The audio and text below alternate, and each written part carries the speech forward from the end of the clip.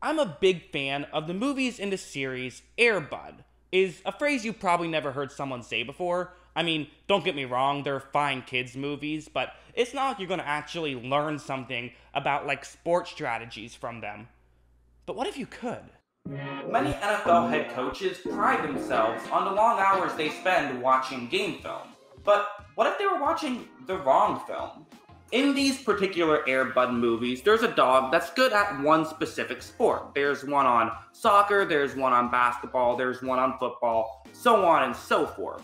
And it really makes you start to think could there actually be a dog that could be great at a particular sport? Again, said no one ever. But maybe everyone else is wrong. My own personal dog is, as a whole, incredibly stupid. But I have a film football and I started playing catch with her and she picked up on it in no time. And she's just some dog. Certainly not the 1% of the 1% of the best canine athletes in the world.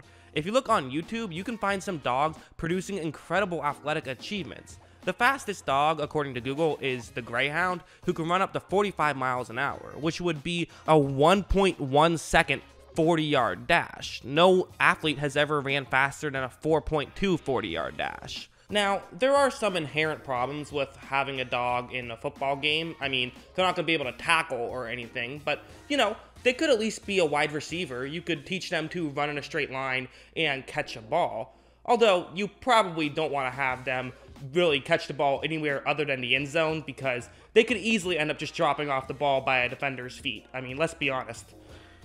Dogs are too trustworthy. We could also get our first female NFL athlete this way, which would be huge news for everyone, but especially the women out there watching this video, which according to my analytics is about 3% of you. So there it is. We've settled it. You know, NFL teams spend hundreds of millions of dollars every year trying to get as many advantages as possible, and getting a dog on your team is undoubtedly an advantage.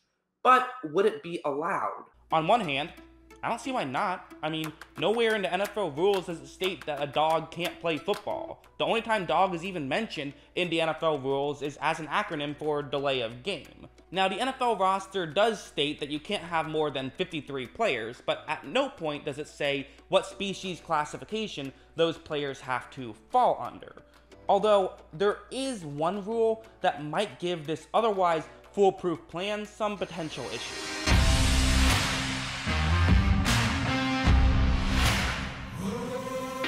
An unfair act is stated in the rules as an obviously illegal act that has a major impact on the game. An example of this would be the battle between Rice and Alabama in the 1954 Cotton Bowl Classic. Rice's running back was on his way to a surefire touchdown when, seemingly out of nowhere, Alabama running back Tommy Lewis came out of the sideline and tackled him before he was able to get into the end zone.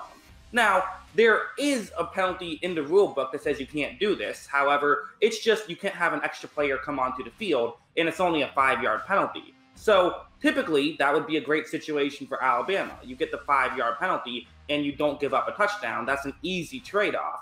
However, the refs deemed it palpably unfair, which totally makes sense and the touchdown was awarded regardless. A very similar thing happened actually just a few years back in a Steelers Ravens game, where Pittsburgh's head coach Mike Tomlin pretended like he was about to accidentally walk onto the field, and this prevented a touchdown from scoring.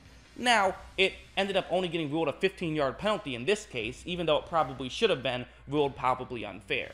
So, is it palpably unfair to have a teammate that's a golden retriever. I tell you one thing, boys. That there's a golden receiver.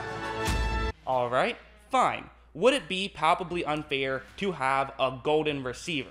I mean, if a team decided to sign a snail to play wide receiver, I don't think too many people would have a problem with that. However, if a team decided that their defensive line was going to be made up of grizzly bears and they just mauled the entire opposing offense, that would seem a tad unfair to me. So, what about a dog? I mean, on one hand, it's clearly an advantage to have a dog, as I've stated earlier. But at the same time, if you can have an NFL player who's a person who trained their entire life for the sport, who's used the world's best medical achievements to make themselves as strong and as fast as possible, and that team can then sign that player for a half a billion dollar contract, is that really that much more unfair than signing Fido off the dog park? Actually, it's not as up for interpretation as it might seem. The NFL rulebook clearly states an unfair act is a foul that can be called when a player or team commits a flagrant and obviously illegal act that has a major impact on the game. But it has no specification on who qualifies as a player. If Air Bud is a player, then running as fast as he can wouldn't be a palpably unfair act. Meaning, according to NFL rules, literally any animal in the animal kingdom could theoretically play in an NFL game. The Chicago Bears defense could be made up of actual bears, although with their offense, they'd still probably find a way to go 8 and 8. And as for Air Bud, yeah, there's no rule that says he can't play.